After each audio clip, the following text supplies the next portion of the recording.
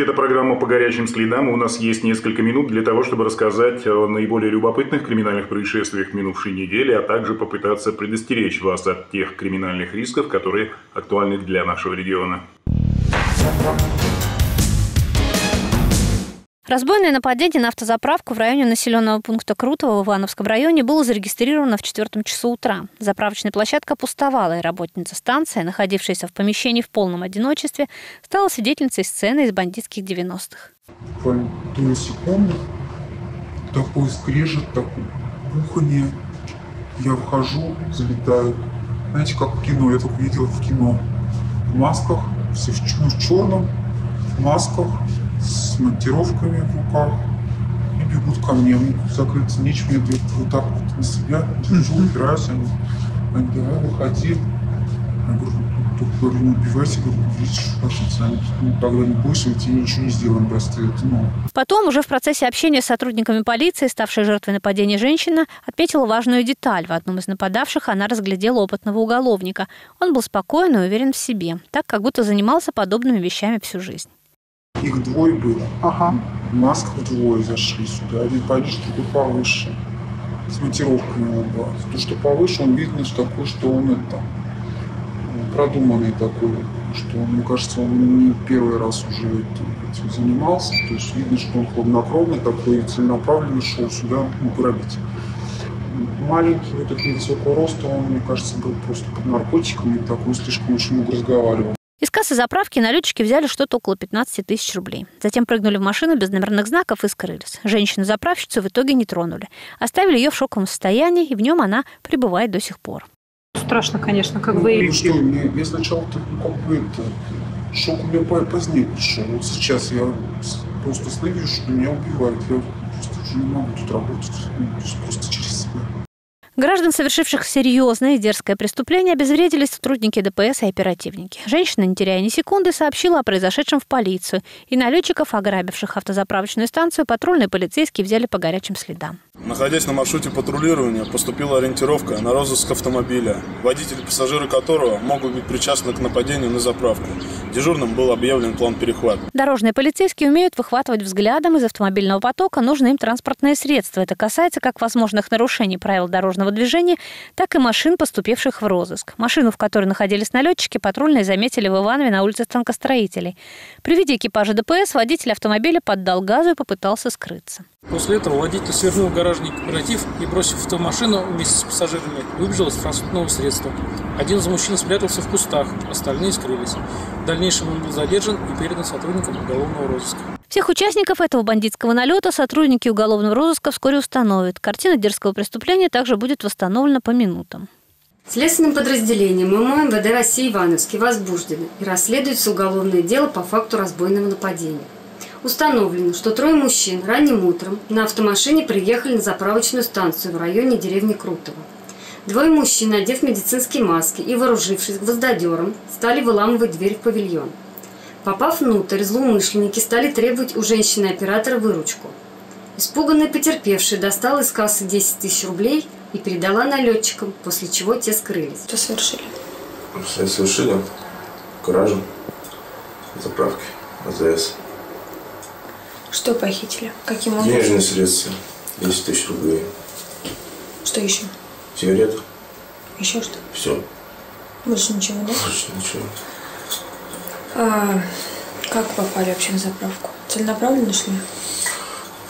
Ну, в принципе, сначала все это было договорено спонтанно, так скажем. Один предложил, другой дурак повторил. В помещение заправочной станции налетчики проникли, отжав монтировкой дверь. Запугав женщину все теми же самыми монтировками, принялись потрошить кассу и сумочку заправщицы. Женщина сама сказала, только не трогайте, и все, так, все, так что не было ничего такого. Вы скрывали лица свои? Да. Каким образом? Маски. А, медицинские или Да, медицинские. Похищенные деньги налетчикам на пользу не пошли. Через полтора часа после совершения преступления фигуранты этой криминальной истории уже находились в полиции. Теперь их ждет СИЗО, следствие и суд с последующим длительным сроком лишения свободы. Задержанными оказались двое братьев 29-32 лет и их 30-летний приятель. Ранее мужчины неоднократно привлекались к уголовной ответственности. В настоящее время фигуранты арестованы и находятся в СИЗО номер один города Иваново. Уголовное дело о фиктивной регистрации иностранного гражданина в конкретном адресе возбуждено и расследуется органами полицейского дознания. В совершении преступления подозревается женщина, которая сама еще вчера была иностранкой. В настоящий момент в отделении дознания в производстве находится уголовное дело в отношении женщины 1989 года рождения – которая недавно получила российское гражданство и по просьбе своей знакомой зарегистрировала ее родственника в частном доме, где проживала со своей семьей. Однако он там не проживал. Данная регистрация носила фиктивный характер и нужна была ему для законного нахождения на территории Российской Федерации. Фигурантка получила российское гражданство в сентябре прошлого года и уже подвержена уголовному преследованию за совершенное преступление. Уроженка Таджикистана прочно обосновалась в России и по просьбе своих земляков оказала незаконную услугу по легализации иностранца. Расскажите, пожалуйста, по какому поводу в отделении полиции находитесь? В связи с чем? Ну, я не знаю. Ну, за что именно вас сотрудники полиции привлекают? А просто я регистрацию сделала, потому что это, которым я регистрацию сделала, один вот друг моего, э, брат моего сестра, угу. вот этот, подруга. Я ему регистрацию сделала, он не живет со мной, потому что. Угу. То есть кого-то фальшиво зарегистрировали фиктивно, да? Ну, это фальшиво будет. Вот так на ломаном русском объясняет суть своего поступка новоиспеченная гражданка России. В целом языком она владеет неплохо. Видимо, тема, связанная с миграционным законодательством, для нее пока сложновато. Общение со специалистами органов дознания станет для нее дополнительной языковой практикой и ликбезом в области российского законодательства. А когда именно зарегистрировали? Вот, по-моему, на март было. В марте, да? Да. Но вы его все это время не видели, как бы он у вас нет, нет. никогда не проживал. Ну, звоним, поговорим и все. Угу. Ну, чисто по знакомству так. Да. Так. Знали о том, что нельзя так людей регистрировать? Да, да, да. А почему все-таки зарегистрировали? Я э, это, вот это не знала, а теперь знала. А теперь никогда не делаю никому не нужен. Это проблема зачем? Подозреваемая в нарушении миграционного законодательства говорит о том, что зарегистрировала неизвестно кого в своем адресе в знак благодарности. Кто-то помог ей в ремонте дома, и она взамен исполнила эту незаконную просьбу.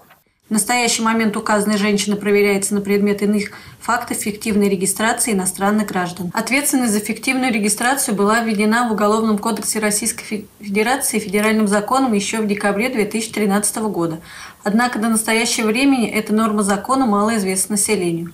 Проблема фиктивной регистрации с каждым годом увеличивается – так, в 2022 году сотрудниками МОМВД России Родниковский было выявлено два преступления, предусмотренных статьей 322 прима 3 Уголовного кодекса Российской Федерации. В 2023 году выявлено 23 преступления указанной категории. В первом квартале 2024 года выявлено 17 преступлений, совершенных в сфере миграции. Все уголовные дела направлены в суд. В Ивановской области зарегистрирована попытка обмана пользователя сети интернет при помощи образов, созданных нейросетью. Эта технологичная история началась со взлома персонального аккаунта в Телеграм ивановской блогерши. А, сначала меня взломали в Телеграме, я не могла туда зайти, я не поняла, что за проблема, пыталась сходить, и меня постоянно начали выкидывать. Вот. Но я вижу сообщения, там кому-то начали писать. Я сразу написала, чтобы мало ли моих э, друзей, знакомых э, не попросили им скинуть деньги, говорю, сразу никому не скидывайте. Девушка потеряла свой персональный аккаунт после того, как перешла по сброшенной ей ссылке. Мошенник, выдававший себя за фотографа, предложил ознакомиться с его фотоработами. Все блогеры любят фотографироваться, и девушка предложение это приняла, несмотря на имеющиеся сомнения. Вы говорите, ссылка подозрительная. Что именно в ней странного было? Ну, когда ты заходишь на ссылку, ты сразу перекидываешь тебя, и тебе не надо вводить пароль и телефон.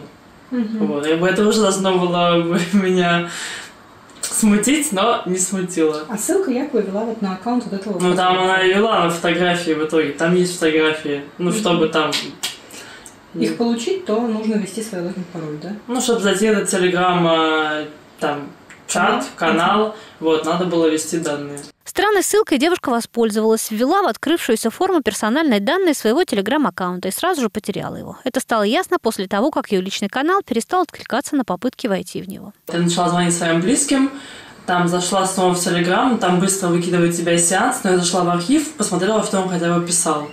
Вот. И, и, и позвонила, написала вот от Алене, э, которую я узнала, что вчера ее взломала та же, та же девушка-фотограф, типа фотограф, которая перекинула нам ссылку в Телеграм, типа я там ее работаю. За своим личным телеграм-каналом, который сама же и создавала, девушка теперь наблюдала как за чужим. Она видела, как злоумышленник, укравший ее профиль, рассылает знакомым сообщение с просьбой одолжить денег. Там что-то было «Привет, мне нужно там 15 тысяч рублей, скинь, пожалуйста, на карту мамы, типа она там странная, типа Яндекс, просто бухгалтерская, туда присылаю там зарплату, mm-hmm. вот. Могу прикрепить голосовые сообщения, которые он скидывал. Mm-hmm. Вот. И в целом формат истории был такой, что типа это мамина карта. Более того, взломщик, похитивший чужой канал, Кафери тщательно подготовился. Используя образцы голоса блогерши, он смоделировал соответствующие фразы, якобы звучащие от ее имени. Это фальшивые фразы с просьбой одолжить деньжат. Одолжить мне 15 тысяч на пару часов. Спасибо большое, я верну сразу, как банк загрузит. Просто это мамина зарплатная карта, и она оформлена на их бухгалтера. Если человек давно меня знает, он поймет, что это не я. Вот, потому что он э, роботизированный. Второе, он ускоренный. И третье, я в жизни картавлю, вот, а он, типа, без картавого голоса. Поэтому те, кто меня знает, они поняли, что это не я. К счастью, в этот раз обман не сработал. Никто из знакомых блогерши денег аферисту не дал. Может быть, потому что девушка быстро сориентировалась и сумела вернуть утраченный аккаунт. Вот, она сказала начать мне в поддержку, написала поддержку Телеграма. Очень нервничала я эти полчаса, потом от меня отстали. И я спокойно зашла. Там был сеанс из Краснодара последний. Я поставила пароль облачный в конфиденциальности двухэтапной идентификации. Хлебнув немало проблем, девушка пришла к выводу, возможности защиты персонального аккаунта игнорировать нельзя. После неприятного происшествия с хищением профиля в телеге она настроила так называемую двухфакторную аутентификацию. Сейчас я своим знакомым советую ставить, потому что обычно ты ставишь только телефон, а тут нужен еще пароль, чтобы тебя точно не взломали. Вот. И меня как-то очень быстро восстановили аккаунт, и как бы у меня проблем с ним не было, и в целом я об этой истории рассказала там в соцсетях, и в целом э, все прошло без последствий, что повезло.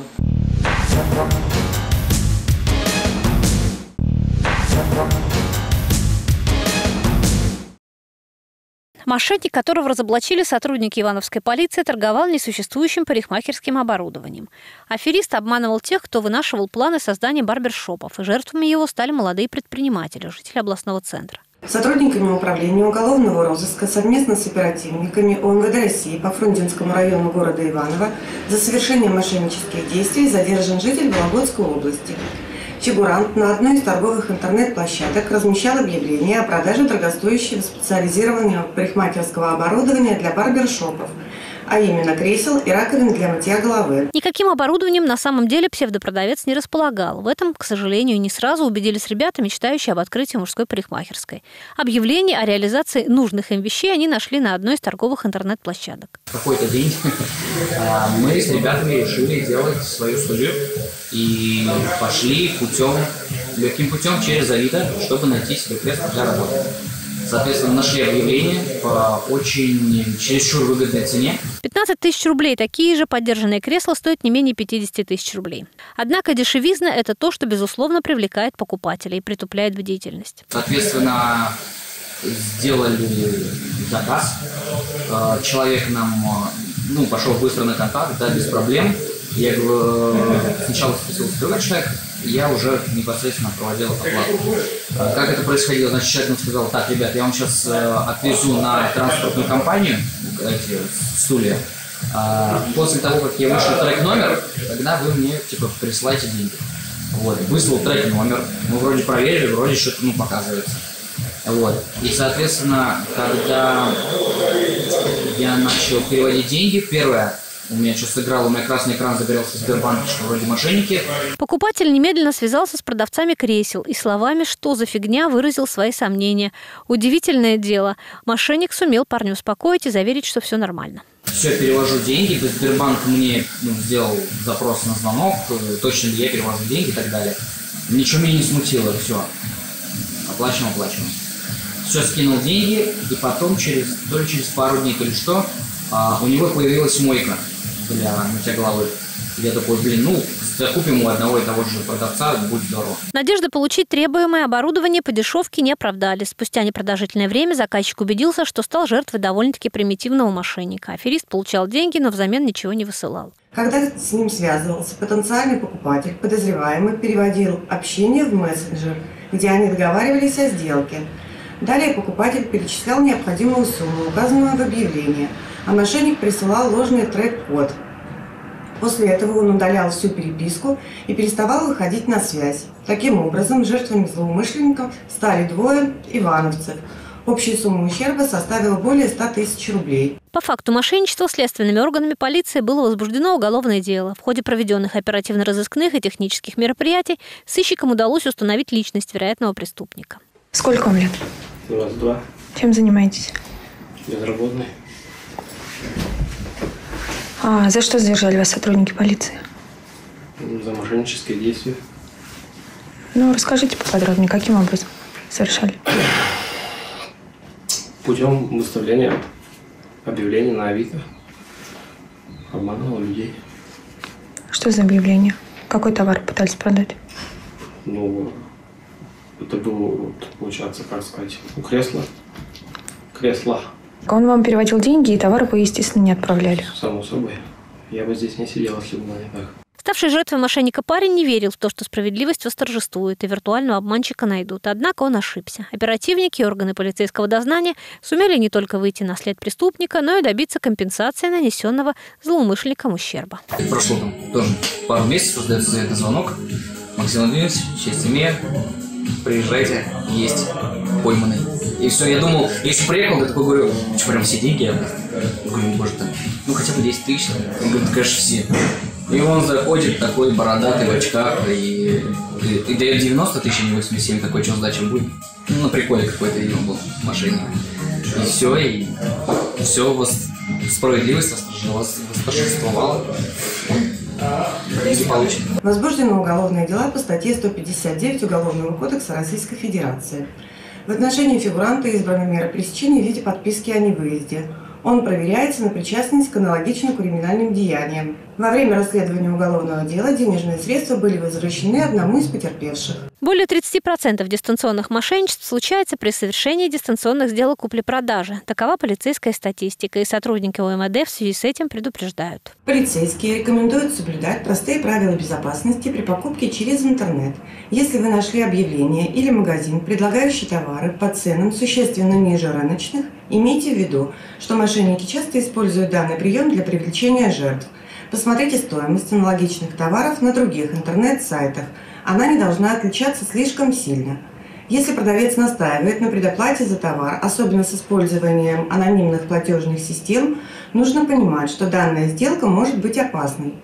Помните о том, что при переводе денег в счет предоплаты вы не имеете никаких гарантий их возврата или получения товара – если в процессе совершения покупки продавец начинает торопить вас с принятием решения и оплатой товара, убеждая в том, что если не заказать его сейчас, то цена изменится или товар будет распродан, не поддавайтесь на уговоры и трезво оценивайте свои действия. При наличии любых сомнений откажитесь от покупки.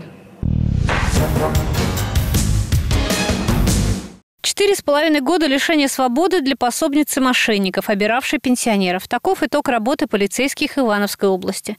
Сотрудники полиции вычислили и задержали девушку, которая обслуживала интересы дистанционных мошенников. Совсем юная жительница Вичукского района по заданию дистанционных аферистов забирала у обманутых граждан их деньги сотрудниками Следственного отдела, Муниципального отдела Министерства внутренних дел России Вичурский привлекается к уголовной ответственности 19-летняя местная жительница, которая оказывала помощь дистанционным злоумышленникам. Из обстоятельств произошедшего установлено, что обвиняемый принимал участие в распространенной криминальной схеме. Криминальную схему по дистанционному отъему у населения денег разрабатывают и реализуют преступники, находящиеся очень далеко, часто за пределами Российской Федерации. Именно поэтому им, этим виртуальным преступникам, нужно нужны помощники из числа местного населения. Эти недалекие, беспринципные люди занимаются тем, что напрямую обирают чаще всего пожилых людей. Неизвестные звонили на домашние телефоны пожилым гражданам и требовали у них передачи денежных средств, необходимых якобы для освобождения от уголовной ответственности родственников. Когда деньги были собраны, обвиняемый приезжал к потерпевшим и забирал наличные. В нашем случае мошенники обрабатывали доверчивых стариков при помощи уже многократно опробованной легенды. Звонили на телефон намеченной жертве и сообщали печальную новость. Говорили о том, что близкий родственник стал виновником, например, дорожной аварии, как это было с жительницей Вичугского района. Вам раздался звонок на домашний телефон. Да. Что сказал звонивший? С вашим племянником случилась авария. По его вине. Угу. И что он якобы сделал? Как будто отвлекся на телефон и не заметил, ну, машина ехала. Женщина с девочкой, ну, с ребенком. Ну, ребенок не очень такой маленький, видно, девочка с девочкой ехала. И, значит, ее в реанимацию увезли. Пожилую, не очень уже хорошо слышащую женщину ловкие мошенники сумели убедить в том, что на телефонной связи с ней находится, собственно, сам ее же племянник. Пожилая женщина поверила в наглую ложь и думала, что действительно общается с близким родственником. Нужны деньги. Ну, сумму ты ей сказал, конечно. А, да, миллион сказал, по-моему, миллион. Да. Потом, значит, он говорит, я сразу, ой, а он говорит, так что, не дашь? Меня ведь сейчас в отделение увезут, а если даже могут и посадят то это его голос. Миллиона у старушки не нашлось, однако для того, чтобы помочь попавшему в беду племяннику и не зная о том, что имеет дело с мошенниками, она была готова отдать все свои сбережения – 250 тысяч рублей. Дала. Что купила, э, родителям на память, думаю, не весной обязательно сделаю обоим памятники. Вот. Потом 50 тысяч еще. Ну, были в этом, мало ли, ли на лекарства, да чего. 50 тысяч было. И это приехало. Забрали. Приехала за деньгами молодая, как вскоре выяснится, 19-летняя девушка. Она беззастенчиво забрала у пенсионерки все ее деньги, оставив практически ни с чем. Полицейские сумели оперативным путем установить ее личность и вскоре задержали. Я подозреваемая по делу о мошенничестве, 159 часть 2. В конце июня я начала работать на мошенников. Мне написали в Телеграм, предложили работу курьером, и я согласилась, так как было сложное финансовое положение. А своими действиями я понимала, что помогаю мошенникам заполучить а, деньги от престарелых людей. С этим раскаиваюсь. Всего от 10 обвиняемых пострадало 5 жителей Вичурского района. Также установлена ее причастность к еще нескольким фактам мошенничества, совершенных на территории других регионов, а именно в Республике Татарстан, Брянской и Курской областях. В настоящее время решается вопрос о соединении данных уголовных дел в одно производство. Еще одного жителя Вичугского района дистанционные мошенники обманули на пару супруга. Виртуальные преступники позвонили и сообщили о том, что виновником ДТП стал гражданский муж ее дочери. Что сказали? На домашний. Да, на домашний, что вот это самое, и, ну, у меня у внучки, значит, этот мужчина, ну, который у нас живет, смотрите, Юра. Да. Сам Юра позвонил якобы, что вот он, это самое, как его, чтобы с этого, как его, по дороге переходил, значит, дорогу, э, разговаривал по телефону. И, и вот, чтобы э, его не сбили, машина ехала, за рулем сидела девушка, и она, чтобы его не сбить, но она его задела и сама врезалась в столб. Легенде о ДТП с пешеходом потерпевшие поверили. Поверили и приехавший вслед за телефонным разговором курьерш. В этом случае девушка рекомендовалась представителем прокуратуры. Расскажите, как к вам курьер приезжал? Какой курьер был? А курьер была девушка, молодая девушка, где-то, ну я не знаю, но она даже показала паспорт, понимаете? Она была в маске и в бейсболке, одни только глаза и волосы. А я приходила на адреса к пожилым людям, представляясь чужим именем и под чужой профессией, либо водитель революции, либо а, прокуратуры тем самым пожилые передали мне средства, ожидая решения какой-либо из проблемы. Я клала деньги на карте через банкомат, после чего по указаниям лиц из Телеграма я переводила эти деньги на банковские карты которые мне указывали в переписке Телеграма. Себе за работу я забирала определенную сумму, которую мне указали. Такие вот юные, наверное, в достаточной степени циничные молодые люди без зазрения совести лишают стариков последнего, забирают их сбережения и отправляют на банковские счета, продиктованные преступниками. Затем, по закономерному стечению обстоятельств, становятся фигурантами уголовных дел о мошенничестве. На сегодня это вся информация. Я с вами прощаюсь до следующей недели. Всего вам доброго, берегите себя и своих близких.